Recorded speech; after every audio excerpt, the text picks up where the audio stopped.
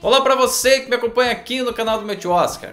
Hoje a gente vai analisar o filme A História de um Soldado, de 1984. Como a gente vem acompanhando nos últimos vídeos, essa é uma temporada de premiações que teve entre os indicados a melhor filme pela Academia, nomes que já tinham sido premiados pelo menos uma vez em edições anteriores do Oscar. Robert Benton de Um Lugar no Coração, David Lean de Passagem para a Índia, David Putnam de Os Gritos do Silêncio e Milos Forman de Amadeus já tinham passado por produções importantes da história da academia, como a gente já analisou nos respectivos vídeos. Se você perdeu, volte aí nos arquivos do canal e confira. E o nome que está relacionado ao filme que a gente vai analisar a partir de agora é um diretor, Norman Jewison, que inclusive você que acompanha esse canal há algum tempo já conhece lá dos primeiros filmes analisados aqui pelo meu tio Oscar. Colonel Nivens must know nobody colored killed us, sir. Well, this is precautionary, Cobb. And we can't have the army engaged in revenge on civilians. Sir! Are there any suspects, sir? None. Oh, come on now. Everybody knows it was a Klan. Were you an eyewitness, soldier? so they lynched Jefferson the week I got here. Now, two weeks after that, it was... Ensign! Unless you saw it, you keep your opinions to yourself. Yes, sir.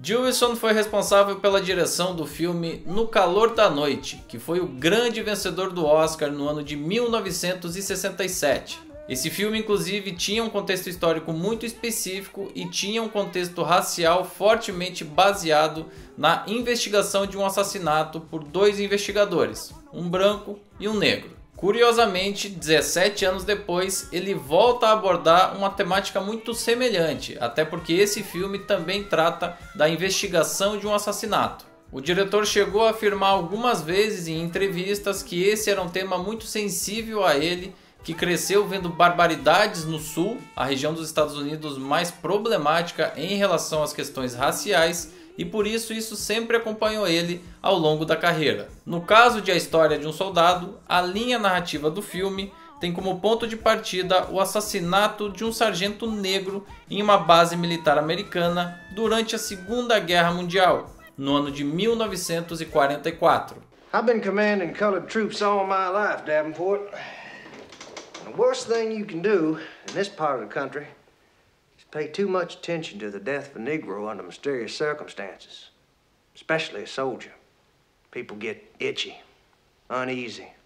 White folk in the town, colored at the fort.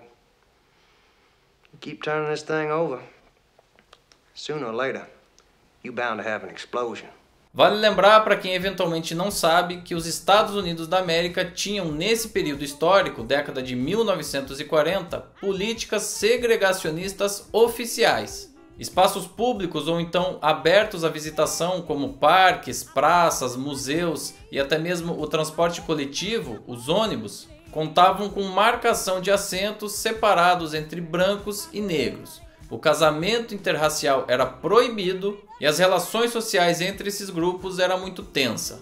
Esse racismo institucionalizado, que se assemelhava muito inclusive à política do apartheid lá na África do Sul, chegava inclusive nas Forças Armadas norte-americanas. Os alojamentos eram separados entre brancos e negros e os postos de maior prestígio e comando dentro da hierarquia do exército eram ocupados por brancos. E é sempre bom lembrar que a região sul dos Estados Unidos tinha essas questões ainda mais complicadas porque foi a última região daquele país que aboliu a escravidão. Então as chagas desse preconceito acabaram perdurando por muito mais tempo. Feita essa contextualização histórica e fazendo a ressalva de que a base militar retratada no filme se coloca justamente no sul dos Estados Unidos, a gente entra em contato com os elementos que vão causar os conflitos dessa trama. Um oficial negro do exército norte-americano é assassinado com uma arma de fogo, e uma vez que a investigação local não foi conclusiva e nem mesmo satisfatória, o Comando Central das Forças Armadas em Washington acabam enviando um investigador para solucionar a questão. Esse investigador é negro e tão logo ele chega ali na base militar, ele já percebe que a sua missão não será nada fácil.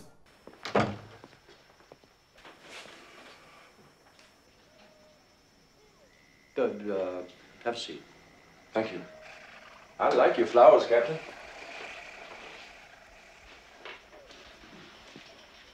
Hey, where's he from? He's from Washington, D.C. He's here on special assignment. Washington? Yes, sir. You gotta be shitting me. O filme todo é conduzido narrativamente a partir dessa investigação, então cada passo novo do investigador acaba fornecendo pistas não só dos personagens que estão ali naquele meio, como também das circunstâncias que poderiam ou não ter levado a esse assassinato. São duas linhas narrativas que andam aí de forma paralela, a linha da investigação e os flashbacks que vão trazendo elementos do passado. O investigador responde pelo nome de Davenport e é o papel protagonista desse filme. Ele foi interpretado pelo ator Howard E. Rawlings Jr., que era inclusive um dos maiores ativos desse filme. Todo mundo tinha expectativa de como seria esse novo trabalho, uma vez que no ano de 1981 ele já tinha sido indicado ao Oscar de melhor ator coadjuvante pelo filme dirigido pelo Milos Forman na época do Ragtime. Na minha opinião, esse papel engessa um pouco mais o trabalho do ator. Ele não está mal, mas ele também não consegue se sobressair pelas próprias limitações do roteiro. Ele transita a todo momento entre a autoridade do posto que ocupa e a responsabilidade de uma apuração justa. É um papel menos versátil até mesmo pelas características militares que deixam você ali dentro de uma margem de manobra muito pequena. Por algum motivo, me parece que ele está preso demais nas cenas. É sim uma atuação muito competente, mas menos brilhante do que no filme de 1981. Agora, a primeira grande questão colocada ao espectador logo no início do filme é a seguinte: como garantir uma investigação isônoma e justa com tantos elementos sensíveis que estão ali orbitando aquela situação? Captain Taylor questioned two white officers from this fort that night.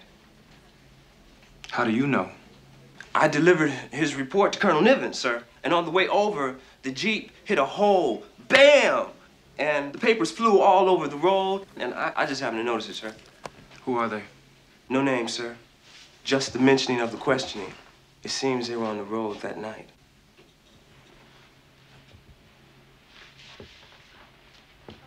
Ao longo da investigação, a gente começa a conhecer melhor outros personagens que são essenciais para desvendar o mistério em torno do assassinato. Inclusive a personalidade do próprio sargento Waters, que é a vítima desse assassinato.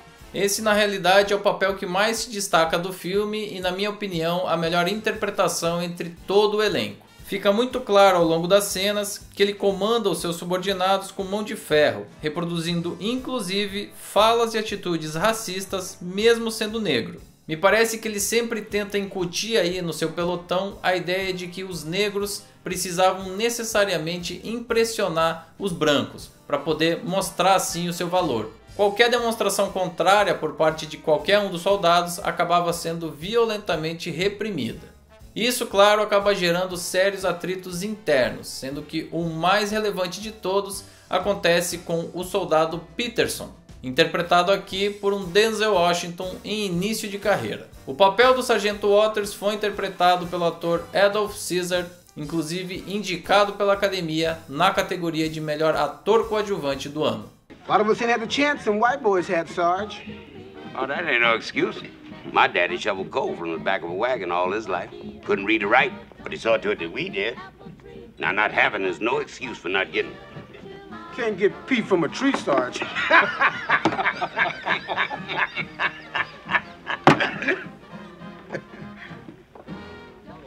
just like the rest of them. Ignorant. Scared. Stop thinking like a nigger. O autor dessa história é o escritor norte-americano Charles Fuller, que inicialmente escreveu isso em formato de peça de teatro no ano de 1981, batizada como A Soldier's Play. Essa peça foi um sucesso do ponto de vista da crítica, venceu inclusive o prêmio Pulitzer daquele ano e foi encenada fora do circuito tradicional da Broadway. O mesmo Charles Fuller também foi convidado para escrever o roteiro do filme, então a gente garante assim muita fidelidade entre a história original e as eventuais adaptações que precisaram ser feitas para o cinema. A adaptação dessa obra por algum outro nome, e inclusive de um eventual roteirista branco, poderia cometer alguns erros conceituais de construção dos personagens. Um outro ponto positivo do filme é o fato de grande parte do elenco ter sido reaproveitado da versão teatral. Essa versão, por sua vez, tinha por trás a companhia teatral chamada Negro Ensemble Company, que foi fundada na cidade de Nova York com o intuito justamente de absorver talentos negros para o teatro, para o cinema e para a televisão. Essa companhia foi fundamental por revelar vários nomes importantíssimos do cinema nas décadas seguintes. E inclusive Adolf Caesar e Denzel Washington repetiram seus papéis dos palcos na versão por cinemas. You a creep, Waters. Sorry, just joking, Pete. He don't mean no harm. No, he does. I mean, we're taking her from them white boys. Yes, you do. And if it wasn't for you southern niggas, white folks wouldn't think we was all fools. Well, where you from? England? A peça original teve algumas outras versões ao longo dos tempos e agora, em janeiro do ano de 2020, ela finalmente estreou no circuito oficial da Broadway. Esse filme que a gente está analisando, no entanto, é a versão mais conhecida da história. E na época do seu lançamento, ele ganhou alguns questionamentos, mas de uma forma geral foi muito bem aceito. Inclusive, consta que ninguém menos do que o cantor Michael Jackson solicitou à produção do filme uma cópia para que ele pudesse assistir na casa dele. A grande questão levantada por esse trabalho, na minha opinião, é como o racismo é danoso ao tecido social. Como esse preconceito vil corrói os sentimentos de fraternidade e contamina todos, inclusive aqueles que mais sofrem com ele. Ao colocar um negro em posição de liderança com características racistas, o autor acaba estabelecendo uma profundidade psicológica que foge da dualidade nós contra eles. Isso é essencial, muito interessante e muito rico do ponto de vista narrativo. Primeiro, porque mantém o suspense até o final, você não sabe exatamente quem cometeu aquele crime até o último momento. Segundo, provoca uma reflexão verdadeira no espectador, ainda que alguns recursos narrativos, na minha opinião, tenham envelhecido um pouquinho mal. E finalmente, esse filme pontua de uma forma muito feliz como caráter e isonomia não tem rosto nem cor. Esses adjetivos estão muito acima desse tipo de discussão e deveriam sempre balizar toda a sociedade em todas as suas ações. Nos últimos anos, inclusive, a discussão sobre quem está contando as histórias acabou tomando uma grande proporção no cinema mundial. E é muito bacana a gente ver que tanto o elenco quanto o autor dessa obra são negros. When did you last see Sergeant Waters? Same night somebody killed him. Of course, I should have done it myself by the way he spoke to Wilcox and me. And how did he speak to you, Captain? Well, he was drunk. Said a few things he shouldn't have. And uh, I told Lieutenant here not to make the situation any worse than it already was, so uh, we just left him there on the side of the road, on his knees. Alive. A história de um soldado é, sem sombra de dúvidas, entre os indicados nesse ano de 1984, o menorzinho, o mais modesto.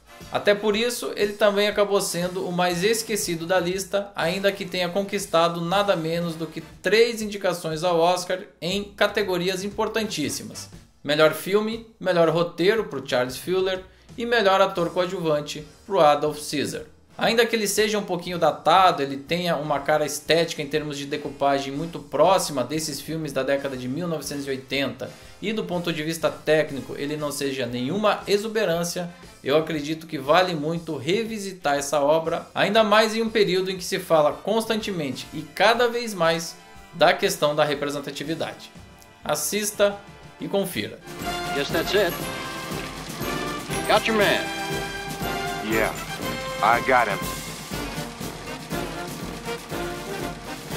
I was wrong. So was I.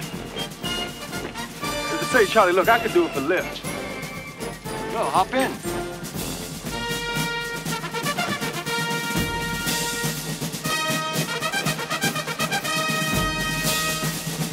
E você aí que já assistiu ao filme, faz o seguinte: usa o espaço aqui embaixo destinado aos comentários no próprio YouTube para deixar sua opinião sobre o filme e também sobre esse vídeo. O que, que você achou dessa resenha, hein? Também não esquece de curtir o vídeo, compartilhar o material, se inscrever no canal e, claro, ativar as notificações no sininho porque é essencial para a gente. Com isso, 1984 chega ao fim, pelo menos nas análises dos filmes indicados na categoria de melhor filme daquele ano, e a gente parte no próximo vídeo do canal para o grande debate. Eu vou receber dois convidados muito especiais para a gente falar um pouquinho mais sobre cada um dos filmes e também, é claro, de como foi aquela cerimônia de entrega de prêmios. Tá muito bacana, você não vai perder. Te espero aqui.